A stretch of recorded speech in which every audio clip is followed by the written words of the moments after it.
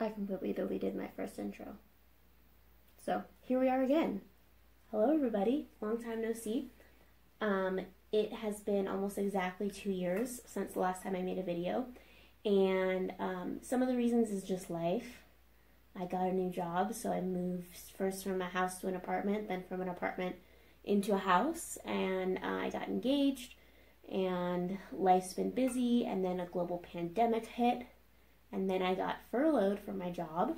Um, so now I have some more time on my hands to pursue things like this. Um, the other reason that I haven't been making videos is I just really hate video editing.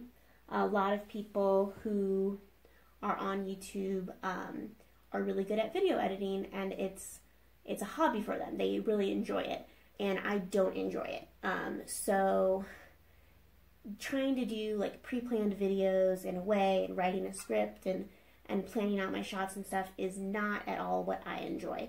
But I was talking to Noelle over at Costuming Drama about letting go of perfection. And Noelle vlogs her sewing every week, and I love her vlogs. And um, I share my sewing every day on my Instagram. And so she kind of encouraged me to get back to making videos, but to do it vlogging style. So that's what I'm doing. And all week I've been recording what I've been working on for you guys. Um, it's been tough since I have been furloughed. I've been sewing full time. I've been doing a lot of hand sewing. And um, the first week it really took a toll on my wrists. Um, this this video encompasses week two of, of furlough for me. Um, so week two has been a struggle um, on and off of my wrists um, being too sore to work. I've I spoiler alert, I've moved through it. I've I've come up with uh, you know I've been working on it well. Um, but the problem is that I have so much hand sewing that I'm doing. So I'm trying to fit in projects that have less hand sewing um, and do different things. The main thing that I've been working on is my wedding dress, and this is half of it um, because it's like a wrap bodice. So this is this is half the bodice, but um, so you'll see me working on this. There's a lot of hand sewing in it because it's entirely couture techniques. Another thing that I've been working on is um, like my getting ready robe, a fancy robe, and it's this gorgeous border print silk, and um, again, it's it's all couture techniques, so it's a lot of hand sewing, and I'm actually at the point on it where there's no machine stitching left, so I still have to um, finish the waist seam. I have to finish all of the um, skirt seams by hand, but I have pressed them so it's just really catching it down to the underlining and I have to hem it. I've also been top stitching the belt, which was a poor decision, but I'm doing it um, because in couture you usually do a lot of hand sewing for like top stitching and under stitching because it's softer finish than on a machine. Machines make very tight stitches so it makes the fabric become very stiff. And this belt is underlined with um, already fairly stiff cotton flannel. So um, by top stitching it by hand, it's it's leaving it with a softer finish. I'm afraid it'll be too bricky if I were to top stitch it by machine. And I'm top stitching it because I do intend to wash this robe. I need to wash it. I soaked the silk in gelatin before sewing with it to make it easier to work with. Um, so it needs to be washed. I'm hoping that the uh, flannel will continue to soften as I wash it, so I do intend to just throw it in the washing machine. Um, but as I was turning this belt right side out, I realized that it would be really tough if the flannel got all tangled up in the wash. It'd be really hard to press it out. So I decided it needed some top stitching to keep it in place. Um, so that is all things that I've been working on. Um, I've also been pulling things out of my UFO bin in an attempt to have projects that aren't going to tax my wrists. But again, I continue to want to hand stitch on them. This is a Morris blazer that I fin- that I cut out like ages ago, and I finally um, finished. And it took me like an hour to sew it up just on my serger because it's a knit, um, but it's like a really thick double knit scuba. And so um, to understitch the facing and stitch it top stitch it down, I really wouldn't like the finish and it'd be very difficult. So um, I do want to understitch it by hand and then catch the facing down by hand. And I do intend to do that, but it's just going back in the UFO bin now that it's been sewn together um, until I can make that happen. Um, I've also been working on some napkins out of my UFO bin, and um, I want my dream world would be to actually uh, do drawn thread work embroidery on them and hem stitch around the entirety of the napkin. But I've done drawn thread work embroidery before, and I know how long it takes, and I know that I would a never finish the project, and b it would just be more taxing on my wrists. But that's like my mentality of do hand stitching on everything. Um, so I am trying to save my hand stitching for the couture projects, and I'm trying to um, also incorporate in other non-couture projects so that I can do things with my time and sew and accomplish things with my time, but save my wrists. The other thing that I've been doing with my time, in addition to making videos like this, is I'm, I'm just trying to put out more content into the world. So I've also started a Patreon account, and I've already had so much love and support um, from my Instagram on there. And I put out a video on my Patreon um, with everything that I know about bias tape, all my secrets to using bias tape, um, because I love bias tape as a finish. It's a very nice finish. It's a very popular finish in couture. So I put out a video on my Patreon um, with everything that I know and love about bias tape. And so if you're interested in that, um, you can check me out. I'm Ms. Jenn Makes on Patreon, Ms. Jenn Makes on Instagram, Ms. Makes here on YouTube. Um, so yeah, I hope that you enjoy the vlogging format. Let's go back in time to last Sunday um, when I started vlogging, but um, I deleted my original intro, so Ah, uh, dang. See, this is why I actually wish I hadn't sewn this bias binding on because I follow a process in my mind of sew bias binding on, understitch, then trim, and I had it sewn on, but I hadn't understitched it yet. So I started to trim and I started to grade, and I graded away my shortest layer, um, and it's just harder to understitch when you have like some really short layers like this.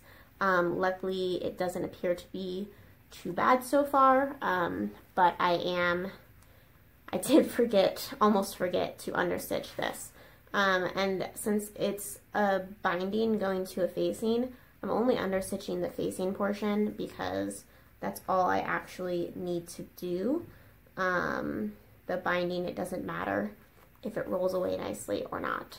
Um, this is again where especially because I have a lot of layers in this bodice. Um, I'm understitching it by hand to prevent this edge from feeling super stiff. Um, if I were to do it by machine, it would just really compact down all those layers and it would be so much stitching in this area. Um, it would be really stiff and not lay nicely over my shoulders. So I'm understitching just with um, a back stitch, prick stitch, uh, I guess you could call it. Um, this is always how I understitch. It's very quick and easy and very secure and it actually does like tighten things down in a nice way which is important um, but not at all as much as it would do on a machine. So that's what I'm doing now. Then I will go back to grading that seam and um, press the facing over and start to understitch, uh, to catch it to the facing. So, almost played myself, had to come back to what I did three days ago and remember where I was in my project, um, but I think I'm on top of it now. Okay, so I got the bias tape sewn on to the edges of um, the front and back edges, that is, and I pressed it over. Um, I do need to go ahead and put the stay in.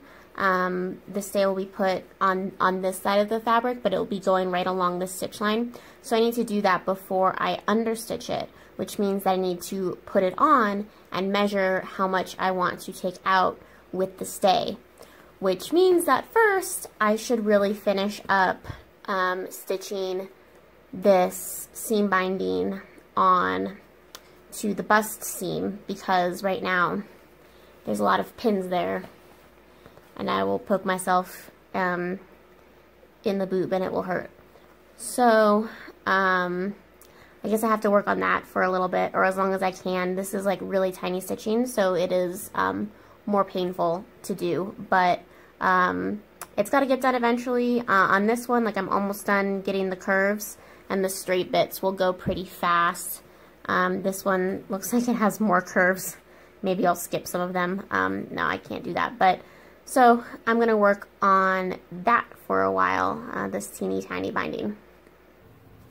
So here's one of the things that I am trying to get through this week um, is out of my UFO pile some napkins that I had cut out around Thanksgiving time and never actually sewed. They're pretty wrinkly. They're just linen. Um, and this is again like I wish that I could hem stitch these napkins but that's just not not the smart move to do right now. I'm trying to do projects that A, don't take me six months, and B, um, save my wrist a little bit. So, some of them I have, um, well, you can't quite see, some of them I have the selvage on it, and I'm actually going to leave the selvage on it. Um, I'm mitering all the corners, but I'm not going to press up the selvage edge. I'm going to leave it raw. So what I'm doing is I'm doing like a little half miter thing. So give that a press. And now I have this little half miter um, that is what I'm going to use on the edge of all the, the selvage pieces. I'm not really being, again, too specific with this mitering, and I'm not even trimming it right now because every time I try to trim a mitered corner before I'm like really well and done with it, I trim it too much. So I'm going to leave it maybe until after I sew it, um, maybe until right before I sew it, and then go in and just trim it up a little bit in there. The rest of the sewing that I've got done today is just, um, I finished one of the bust seams and I'm now I'm halfway done with the second set of bust seams and so I only have this left which is not very much. Shouldn't take me too long at all. Really happy with that progress that I made there lots of hand stitching my wrist is like feeling weird um, it, the pain is moving around I'm wondering if it's some sort of weird nerve thing honestly um, I feel it up in my fingers. I was feeling it earlier today, like in here, base of my thumb. So, um, I don't know what my wrist is doing, but I was able to do those stitches for a bit, so that was good. Um, so last night,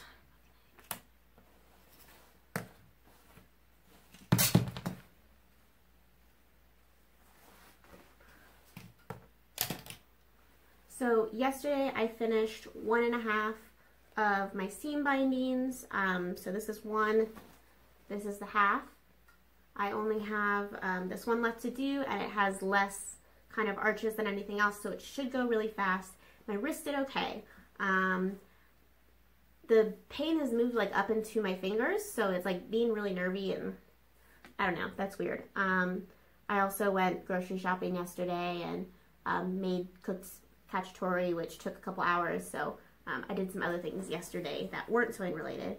And then last night I got fabric mail, which is very exciting. Um, so I got my first fabric from Mood um, that as part of the Mood Sewing Network that I'm a part of with them. So I got this. Um, it's called Growing Distant Cotton Voile. Um, and it is a panel print. So it's um, heavier. It's like a border print except um, instead of the border being printed on the selvages, the border is printed straight across the cross grain of the fabric. fabric. So I'm able to cut, for example, a top and have the um, border be on the bottom of the top going up, but still cut the top on grain as opposed to having to cut it on cross grain, which you'd have to do on a selvage border print. So I'm really excited about this. Um, beautiful weight cotton voile. Um, and I am going to be making a 1950s top um, from a 1950s pattern, so I'm really excited about that. So I washed that last night, and I also washed these two silks that I have. Um, I wash them all together since they're all blue. I'm really feeling like intense blues right now in my wardrobe, so I've been buying fabric like that. Um, this is from Stone Mountain and Daughters, and it's a dead stock crepe de chine. And um, this one is also from Mood, and it's a dead stock silk charmeuse. Um, so you can see, hopefully this one is like really, really shiny compared to the crepe de chine, which is matte and a much drier hand. At the grocery store, I was trying to buy gelatin because if I soak these in gelatin, then they will be easier to work with but they were all out of plain gelatin and I'm definitely not going to soak them in jello because there's way too much sugar in that. Um, so I think that this fabric might have to wait. I don't actually have a pattern picked out for it anyways, so um, that's okay. Um, the crepe de chine just has so much of a drier hand. I think it's still going to be um, okay to work with without the gelatin. The charmeuse is just too slippery to work with. Um, so I still think it's going to be okay with this. And I uh, rubbed off a um, White House Black Market top that I have that is like one of my favorite like businessy shell tops, but it's polyester and um, it I feel like I get stinky when I wear it. So I want to remake it in a natural fiber and that's what this pattern is for. Um, so yeah, that's kind of what's on the docket today. I want to finish this seam I want to get um, this project started. Um, maybe look at cutting out this one. Maybe not. Not sure about that. Um, and that's kind of, yeah, I think those are my goals for today. Um, my bobbins for my machine are supposed to arrive tomorrow. So I might not do any sewing on these um, until then, but I did, because I did buy thread for them as well um, with those bobbins that are coming. So I might wait on that. And um, once I finish the seam, then I'm going to start putting in the stays um, around the neckline and I can move forward on this and probably also start putting in the boning channels. So yeah, that's my plans for today. I'm actually really excited how this looks. Um, now I just need to pin out the excess um, volume that I have so that I can know how much um, shorter to make the stays than the neckline edge so that everything will fit really closely.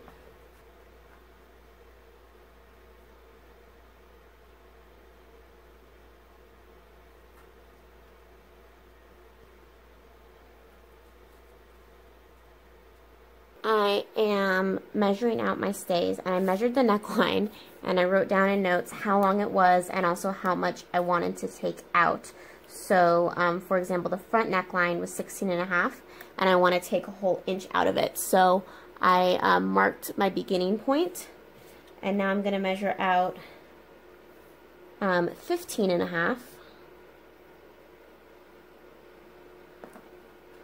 And then mark it.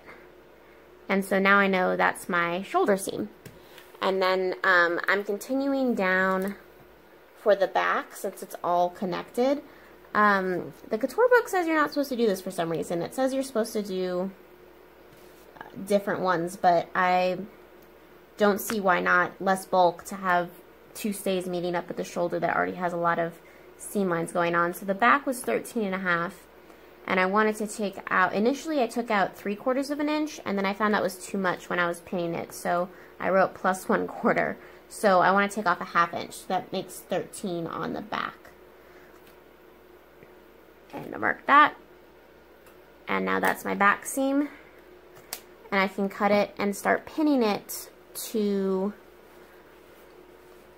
my edges. Um, and I'm just pinning it directly over the seam.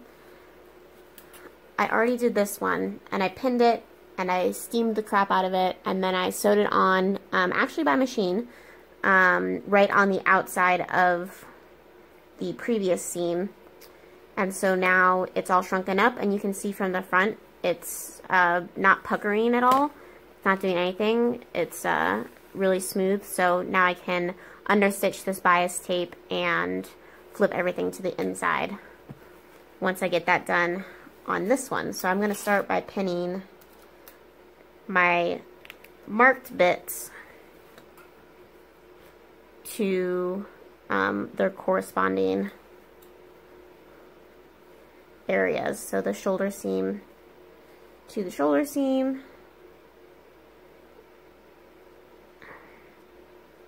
It's really hard to get the pin through this really narrow twill tape.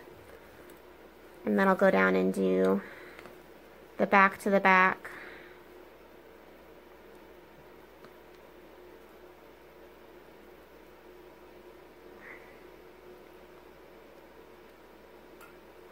And you can see now how um, how much is being take out, taken out, but um, it all kind of eases in nicely. And I'll start by just literally folding the pieces in half. And, you know, finger pressing the tape in half, finger pressing the bodice in half, line them up, put a pin in,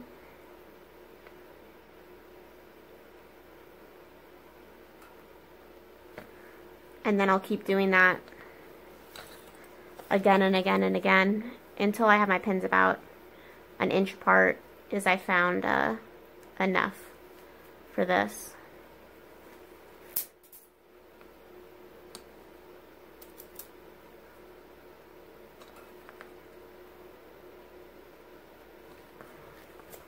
You can see with each pin that goes in, the amount extra looks a little less and a little less until I can get it to pretty much lay flat. And then I'll put just a couple pins in there to hold it in place. Ow.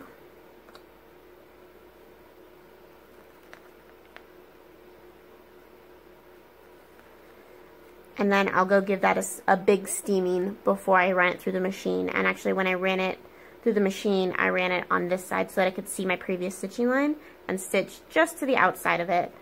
I have to flip this pin around so that I can pull it out so I don't sew over it so yeah, I'm just, that's how I'm easing in the fullness and so that it will hug my body. And also not stretch so much on the bias, but that's not a huge concern for this, just because um, when I cut my pieces, I cut the underlining on the bias, so that actually this bias edge is the straight of grain. Um, so that it wouldn't stretch, but then I'm pinning the twill tape in, so it doesn't matter that much that I did that. Um, but that's just kind of for all areas that maybe don't have the stay, um, giving more support to the garment in different directions. So today I got through understitching one of the um, bodice necklines before my wrist kind of started to feel not so great. So I did go ahead and grade it and press it. So that'll be all ready for me to um, stitch down to the underlining once my wrist feels better, hopefully tomorrow. And I still have another half that I have to understitch, but I did get the stay sewn on, so that's all good.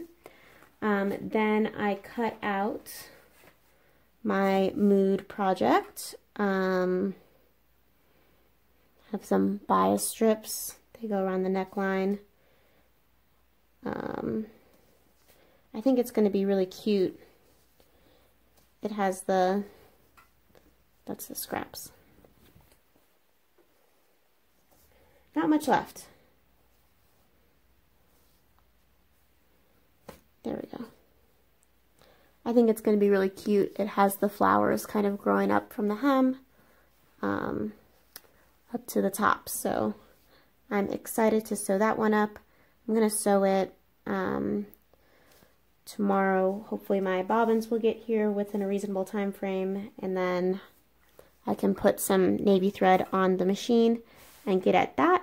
I also cut out this silk um, crepe de chine top that I wanted to cut out. Um, so that's all cut out. I've got like the the flounces for the sleeves, which are really pretty um, and left me with like perfect circle cutouts that I cut. So I'm see if I want to maybe make a flower or something out of it. But I think this top is going to be really pretty and hopefully not too difficult to sew, but we shall see. So that's what I got cut out tonight, and hopefully both of these can start getting sewn tomorrow. Um, so pretty good, pretty good progress today, I would say. Um, I'm gonna ice my wrist again tonight, and hopefully I can get through this tomorrow and get onto stitching in the um, boning casings. So one will go here, one there and there. Um, so I will work on that all tomorrow. I got my new bobbins for my machine and I had to kind of guess at these because um, Wawak didn't have my machine listed for it. So I measured my bobbins and then I found other machines online that use the same bobbin size and then found one of those machines listed on Wawak and, and compared, but they look like they're the same size. So um, I think that I made the right choice, um, which is great. So now I have lots of bobbins to be doing multiple projects at once. I also finished my bodice, um, the neckline facing um, is all finished and the stays pumped up in there. I am not super happy because it seems like my roll pinning um, was not the most successful. It's kind of puffy on the inside and that would um, be indicative of this underlining being too long and the roll pinning should have made um, these outside pieces longer so that um, the underlining wouldn't be puffy like that. Uh, everything looks really smooth on the outside. It's just not super smooth on the inside. Um, so I'm a little upset about that. Um, it might just be, like it might be because this is actually the bias, like the width direction is the bias for the underlining because I cut the underlinings so that their straight of grain would be on these angles. And maybe it stretched out a bit, but I haven't been super successful in um, shrinking it back out. I'm probably going to keep pressing it. Beautiful thing about putting silk organza on the outside is I use that as a pressing cloth a lot of the time anyways to protect fabric. So I have no issues with pressing on the outside, pressing from the inside, and just keep pressing and try to kind of shrink it out. Um, but it is really getting close to being um, structurally done. There's still more that I'm going to be doing with it. Um, I had to put the boning channels in now, so there'll be a boning channel here and boning channels here, and potentially, depending on what my try-on looks like after, a boning channel here, but that might be something I even add like after I put the skirt on. Um, and then after I have those done, I will get to put it on my dress form and drape the tulle layers over top. I did a terrible job of pinning the back, so I think and hope that's why it's a little tight in my throat right now. Um, but I'm getting close to done on this top. I have to finish the armhole seam and um, do the buttons and buttonholes, obviously, and bind the neckline and hem it. And then I'll be done. But I'm just like super excited about how it looks in this print. Huge improvement from my muslin. I am sewing my buttonholes um, onto my shirt for Mood. I'm almost done with it. Um, and so I've switched to my Juki home machine because my industrial machine can't do buttonholes. But I am really happy with the buttonhole features on this machine.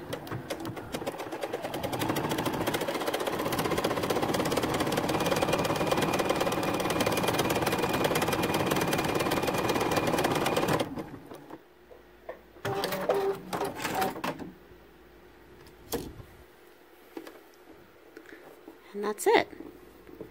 Um, this is a pleasure to do buttonholes because my old home machine, the computer was messed up and buttonholes would stop in the middle all the time or just like keep going in length and it wouldn't register the end of the buttonhole and it was a whole mess. So uh, these make really beautiful buttonholes and I'm so happy with it. So this morning I put the buttons on my mood top so now it is all done. Um, really excited about it. I think it's so cute. I'm not going to take pictures of it today because the high is only like 58. So um, that's going to be a task for tomorrow when the high is supposed to be 68. Um, I finished my napkins this morning, which I don't even have down here because I just went and put them upstairs in the china cabinet where they belong. So those are done. I might actually move on to the matching placemats that I had planned. Um, I'm starting on my copy of a White House Black Market top that I have in this really pretty fabric from Stone Mountain and Daughters.